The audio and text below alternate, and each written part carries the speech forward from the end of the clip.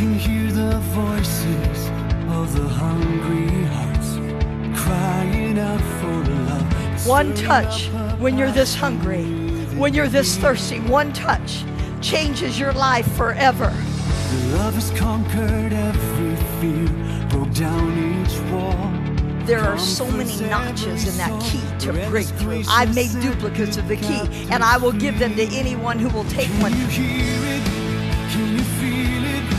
Such as I have, give I thee the key to breakthrough. I'm going to focus in on this. I'm going to fast for this. I'm going to pray for this. I'm going to worship for this. I'm going to be in the house of God every night for this. I'm going to press in. I'm going to hunger. I'm going to thirst. I'm going to get desperate. I'm going to get in every line. I'm going to put my feet on the blue line for this one day. More of you, less of me until it's all of you and none of me.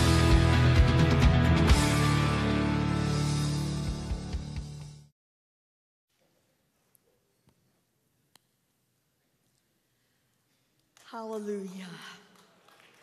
What a night that if you can't see the cry of the lost out there and can't see why we're being raised up and why we have to get a hold of everything that is being laid on the table these weeks.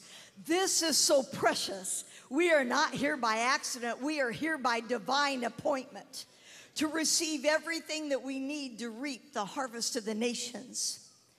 You know, this may be the first night in the last week and a half that I may be able to use some notes tonight. And what is on my heart is that first things must be first, and that finances, money, is just a tool. You can't buy the buses or, or, bring the people and rent the buses without the finances. You can't go to the nations without the finances. You can't buy a tent without the finances. You can't publish a book without the finances. You can't put a Bible in somebody's hand without the finances. You can't put gas in your car to go down the road and preach without the finances. It takes it is just a tool, but we are here to receive the fire and to receive the uh, anointing and to receive the call and to receive the passion and to receive the finances and to receive the wisdom and to receive it all. It's an entire package. And in Matthew chapter 6, verses 19 through 34, I want us to look at that quickly. Lay not up for yourselves treasures upon the earth where moth nor rust doth corrupt, and where thieves break through and steal. But lay up for yourselves treasures in heaven, where neither moth nor rust doth corrupt, and where thieves do not break through nor steal. For where your treasure is, there will your heart be also. We're already hearing about that tonight. We're hearing about that there will be people on that day that have nothing to show for anything, not a soul, not an overcomer's crown, nothing on that day. But we, the people of God, will have laid up treasures in heaven. The people who have seen the picture, the people have said, This isn't about my savings account. This isn't about my nice house. This isn't about my 401k. This was always about souls and seeing first things first. And on that day, we will never regret that we gave one too many offerings. We will never regret that we were stretched. We will never regret that we put off some things and some desires of some things we wanted because we put first things first. I remember hearing pastors say years ago if you want to know where your heart is, check your check register. A lot of people have it backwards. They say, they say, um, uh, that that uh, that my my heart reflects where where my treasure is. But no, all you got to do is look where your treasure is to find out where your heart is. You don't look at your heart to try to figure out your treasure. You look at your treasure and you can readily identify where your heart is. And so if you pick out your check register and you look at it, even if you use your debit card all the time, hopefully you keep track somewhere. And you look at it, and ladies see shoes, shoes, shoes, shoes, shoes, giving. Shoes, shoes, shoes, shoes, giving. They, they know that their heart is in their shoes. And every time the guys get excited about that and get ready to say amen, I say, all you got to do is look, and if you see bow and arrow, four wheeler, fishing boat, fishing rod, and golf equipment and then a little register for that says giving and then you see some more hunting equipment and some more sports equipment you know your heart is in your sports in your hobbies. And so all we got to do is look when we start seeing giving, giving, giving, giving, giving, giving shoes, giving, giving, giving, giving, giving, giving, giving bow and arrow, giving, giving, giving, giving, giving, giving, giving golf, giving, giving, giving, giving, giving, giving new curtains for the house. We know that our heart is in the kingdom of God and that we have put first things first. It goes on to say, The light of the body is the eye. If therefore thine eye be single, thy whole body shall be full of light. But if thine eye be evil, thy whole body shall be full of darkness. If therefore the light that is in thee be darkness, how great is that darkness?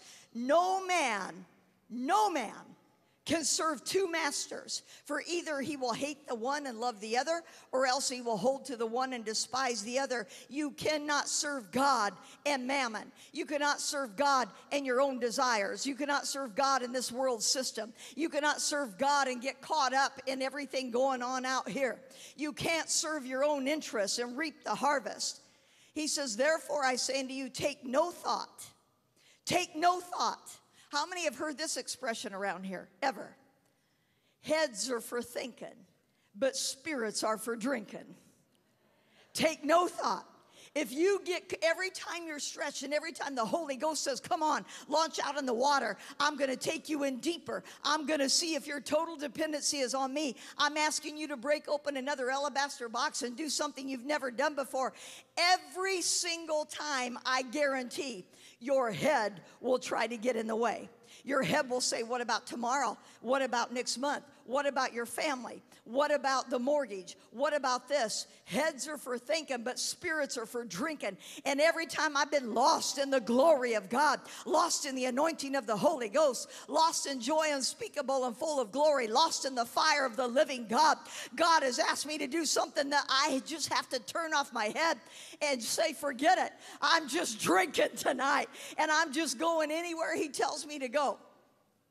You know, I'm going to give you one illustration here. Pastor said the other night that he could listen to the stories all night. Well, here's one I don't believe he's heard that I've ever told here. A couple of people know it, but, uh, but you know, remember last week, for those of you who were here last week, and I told that story about going to Nome and holding a, a wonderful Holy Ghost revival and the pastor under the floor for three and a half hours. Well, when I went back, there one night we had this holy ghost service where the young people especially were all over the floor and they're vibrating under the power of god and they're weeping and they're laughing and joy unspeakable and they're in other tongues. And it got so hot in the church. How many know where it's cold outside? They many times have too much heat going on inside too much furnace. And so they propped the back door open a little bit. And when they did i didn't know it but a high school dance had just let out and as the people are getting out of the dance, they hear more noise coming from the Holy Ghost book of second, the second chapter of Acts service going on than was going on in their rock and roll dance. So the next thing I know, at 11 o'clock at night, 40 some young people come in the back door and they just come in and they don't know anything about church protocol. They don't know they shouldn't interrupt anything. And they come all the way to the front and they're stepping over bodies on the floor and they're going, What is this? What is this? I, go to school with him. Why is he laughing like that? I go to school with her. Why is she laughing like that? Can I have this? And in five minutes, I gave him a salvation message, and everybody was on the floor except one.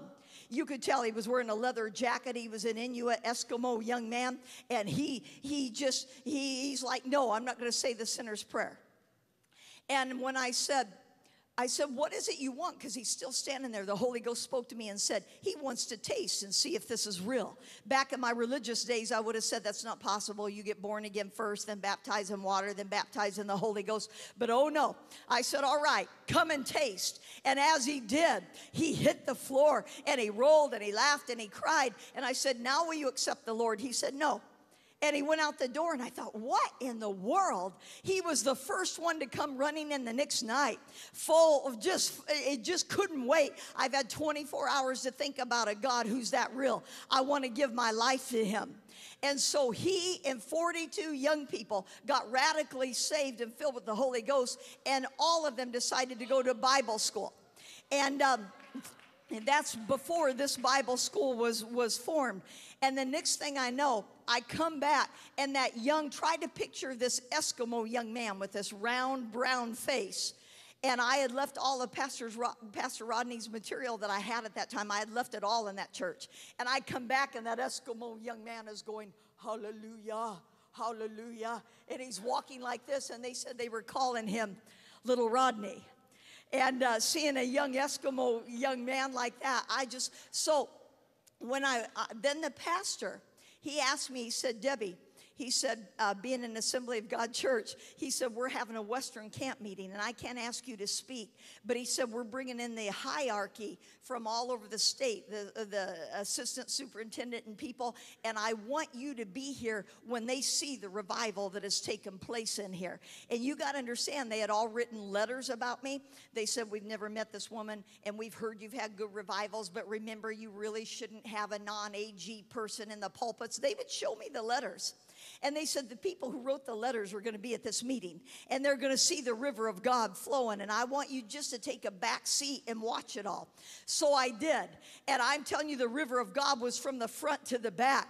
And the next thing I know, the assistant superintendent stood up weeping and he said, Young lady, I understand you're here the one who came in here and preached and, and brought this revival by the Holy Ghost, he said, On behalf of the Assemblies of God of Alaska, I want to ask you to forgive us of what we have done and the letters we have written. And we're always a little skeptical of, of uh, independence, but we are here and we are witnessing this river of God. And he said, I want to meet with you afterwards. And I got in the back room and he said, Would you like to credential with us? And I was in so much shock. And I immediately got so drunk on the Holy Ghost, not that I was going to cr- credential with them. I did visit their office in Anchorage. I was a little curious. But when the, when, when the actual superintendent at that time showed me an article written against Pastor Rodney, about the Holy Ghost bartender and asked me what I thought of it. I said, I think I'm wasting your time, sir, and my time. Thank you for the appointment, but I'll just go on the way I am. And he said, I thought you might say that. But anyway, what I want to get back to is the night that they said, We want you to, we want to ask you to forgive us. I got so drunk in the Holy Ghost that night to watch what God was doing in spite of how much people fight you and how much it doesn't matter what they say. It doesn't matter what they do when you are full of the Holy Ghost. Like Pastor's saying tonight, you carry it with you anywhere. that was a church I was not even invited to go to, just showed up. And now the whole denomination is asking you to forgive them. And it's spreading all over the whole state of Alaska. And when I got so drunk in the Holy Ghost that night, here's what happened. I haven't ever had anything happen quite like it before or since.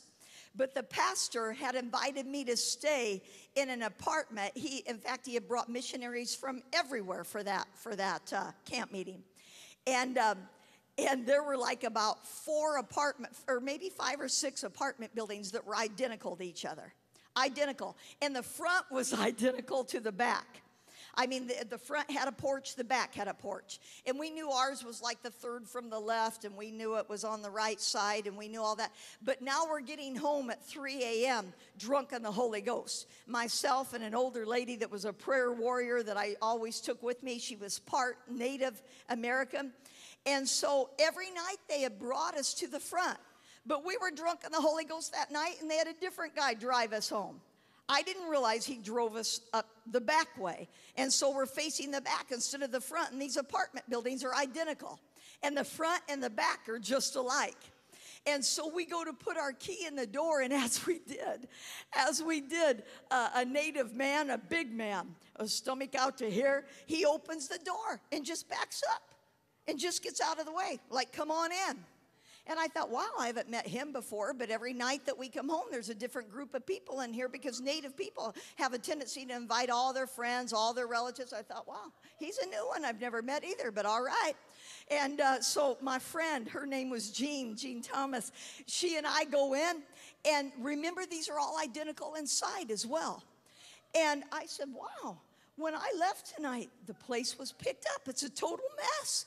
And Jean, she's a clean freak. She said, I'm just gonna start cleaning. She goes and gets a broom and starts cleaning. She's picking up newspapers. She's she's she found a pair of bedroom slippers. She said they, they really should go over in another room, and I think I'll start doing dishes. And and I thought, well, clean away, Jean. I'm drunk on the Holy Ghost. I'm just gonna sit and enjoy. And it's only this big native man sitting across from me with his hands on his belly, just staring at me. He won't say a word for some reason. And uh, and so I keep looking at him, he keeps looking at me, and I said, Awesome meeting tonight. He didn't say anything. I said, I don't even remember seeing you there. He said, he still didn't say anything. And I sat there for quite a while and I'm just talking about the good things of God and I'm laughing and I'm crying and he's just sitting there like this. And that can be a, a, a fairly common native expression just to sit and just stare at you. And I thought, my goodness, we've been doing this now for 25 minutes. I'm getting uncomfortable. And so I said, you know what? I said, I'm going to go on up to bed, sir.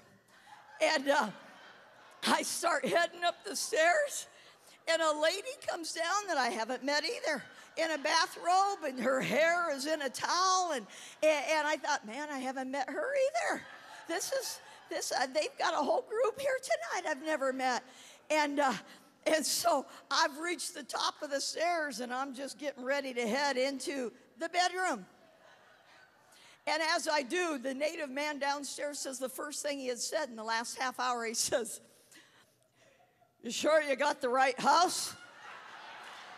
and when he said that, I had a revelation among revelations that, oh my goodness, and I ran down those steps. I was laughing and crying so hard. I almost missed the steps. And my friend's still cleaning. I went, Jean, you're cleaning the wrong house. Come on out. And uh, as as, as we got outside, it is below zero in Nome, Alaska. And I'm in, only I would be in high heels in the snow. And it's, it's now like 3.30 a.m. And we don't even know which house is ours. And, and we, are, we are laughing and crying. And I slide in the snow and hit the ground. She tries to pull me up and then she slides and hits the ground. And then I, I get up again. And pretty soon lights are coming on in all these apartment buildings. And somebody's hollering out, What's wrong with you two ladies? Are you drunk? And, uh, from the ground, I'm yelling, Yes, but not as you suppose, seeing it as but the third hour of the day. But this is that that was spoken by the prophet Joel that in the last days saith God. And the next thing I know, it, all the lights are coming on everywhere. And I said to Jean, You have any idea where we go? Which one of these places is ours? We must be around the back instead of the front. And so instead of the third from the left, it would be the eh, somebody else brought us home tonight. Well, by the time we got to the church the next night, all of Nome had heard about the two drunk ladies that were in the wrong house, cleaning house. And uh, the next thing we know, people came in from all over, including the, you sure you got the right house? Because I had sat there just, just talking about the goodness of God all night. Now, obviously, obviously, we don't operate that way all the time. But I tell you what, there is a time that you just got to turn off your head. And the more you live that way in a meeting, the more anything God asks you to do. by that stranger over there don't go in their house, but buy that stranger over there a new suit of clothes. Go buy that lady a dress. Go pay for those people's uh, groceries in the grocery store. But when you have lived that way, turning off your head, but listening closely with the Spirit of the living God, you are ready to obey instantly whatever He asks because finances are only a tool. You can't serve your own interests. So take no thought, stay drunk in the Holy Ghost. It says, No thought for your life, what you shall eat or what you shall drink, nor yet for your body, what you shall put on. Is not the life more than meat, and the body than raiment? Behold the fowls of the air, for they sow not, neither do they reap, nor gather into barns, yet your heavenly Father feedeth them. Are you not much better than they? Which of you by taking thought can add one cubit unto his stature? Why take ye thought for raiment? Consider the lilies of the field, how they grow. They toil not, neither do they spin. And yet I say unto you that even Solomon in all of his glory was not arrayed like one of these. Wherefore, if God so clothed the grass of the field, which today is and tomorrow is cast into the oven, shall he not much more clothe you, O ye of little faith? I grew up in Pentecost hearing this scripture manipulated by religious minds that would say,